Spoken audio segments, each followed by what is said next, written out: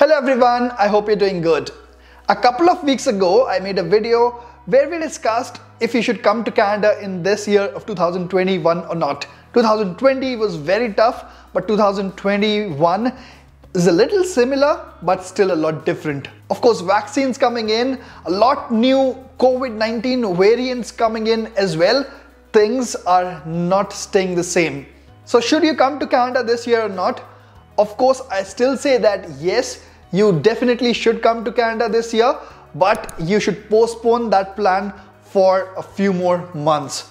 Why? Because the government of Canada does not want anyone to enter Canada these days. Just last week, new measures for travel restrictions have been announced, and those are really strict measures. We will discuss all about those measures in this video right from the starting before boarding the flight what should you do and of course after landing here in Canada what should be your travel plans? We will discuss all about those travel restrictions in this video. So if you're interested stay tuned.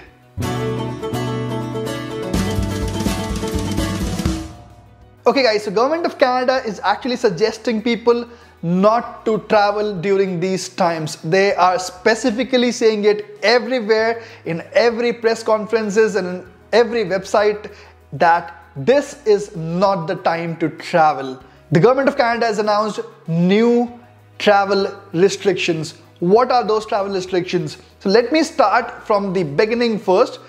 Before you board your flight, you have to do a couple of things. Number one, you have to get a negative COVID-19 test report 72 hours before boarding the flight.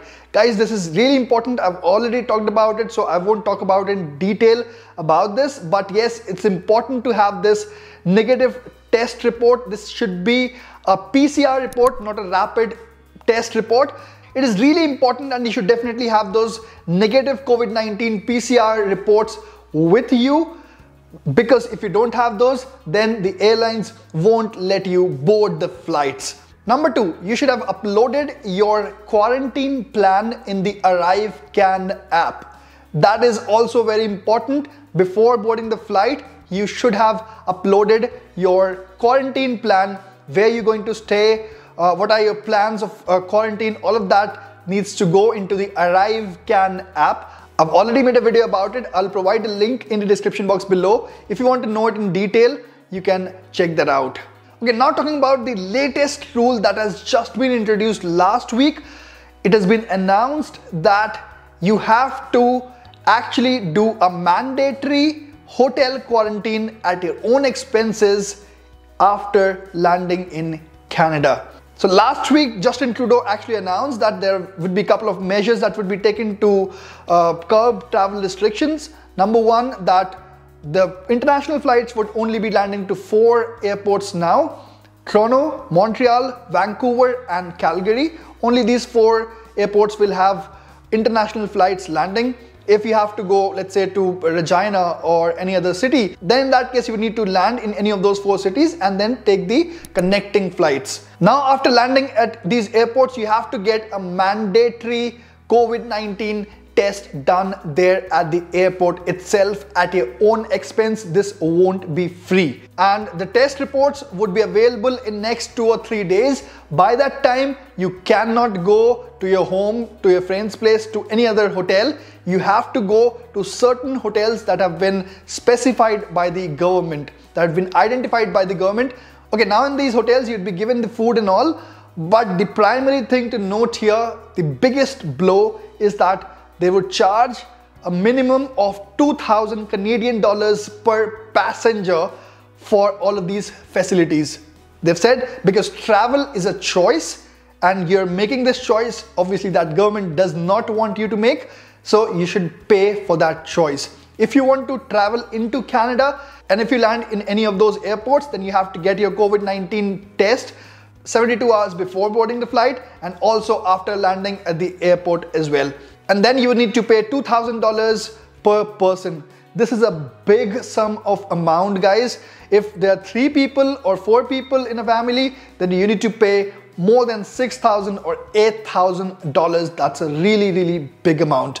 And after you've got the COVID-19 negative test report, then you need to go to the place where you're going to quarantine for the rest of those 14 day quarantine period. So maybe 11 days or so.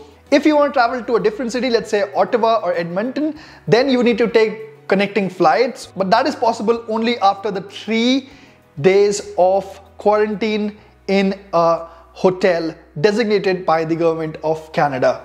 Then the last part is the quarantine what you have announced in the ArriveCan app. So if you have a home here, if you're going to a friend's place or uh, an Airbnb, wherever you're going, you need to quarantine there for the rest of the time.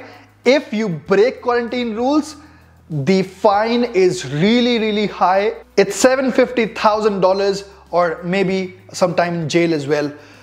They're very strict about it. They inquire it through the phone calls.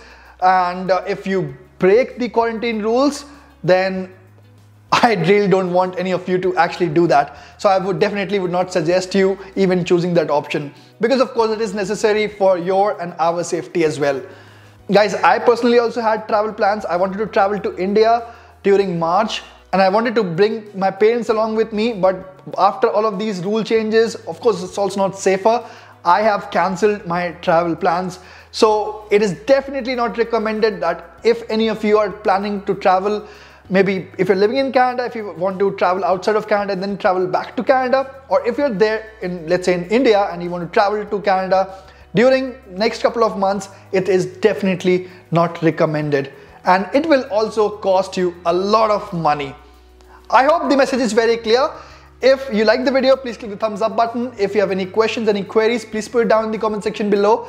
And yes, if you haven't subscribed to the channel yet, please click the subscribe button before moving on to the next video. Thanks again.